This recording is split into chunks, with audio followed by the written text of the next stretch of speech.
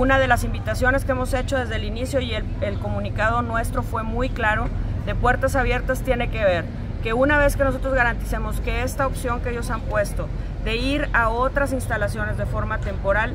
cumpla con esas instalaciones, cumplan con la seguridad estructural, con las, los dictámenes que tiene que establecer protección civil y eh, eh, obras públicas del municipio y también la, la, certificación que establece el Instituto Tamaulipeco de Infraestructura Física Educativa, hacer la solicitud del cambio de domicilio temporal